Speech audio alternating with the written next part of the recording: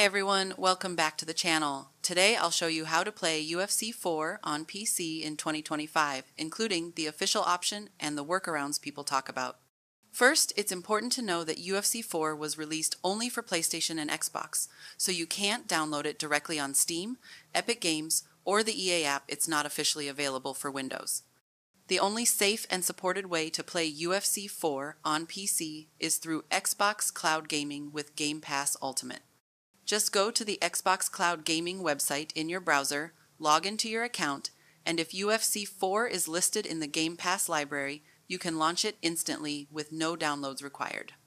You may see people online suggesting emulators, but in 2025, PlayStation and Xbox emulators still don't run UFC 4 smoothly, and online features don't work at all.